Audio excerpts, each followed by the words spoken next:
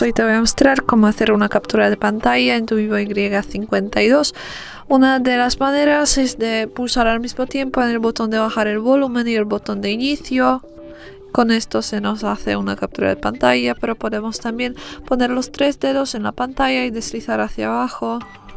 Y con esto también tenemos una eh, captura cuando hacemos esa captura podemos aquí pulsar en ella y con esto podemos pulsar en una de las esquinas para recortarla.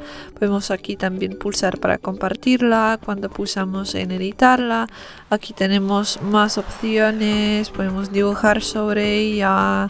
Podemos eh, añadir texto, recortarla también, eh, añadir adhesivos etcétera. Y luego cuando terminamos con esto podemos pulsar en guardar y ahora la podemos encontrar en las fotos. Y es todo. Muchas gracias por ver el video. Te invito a dejar un like comentar y suscribirte a nuestro canal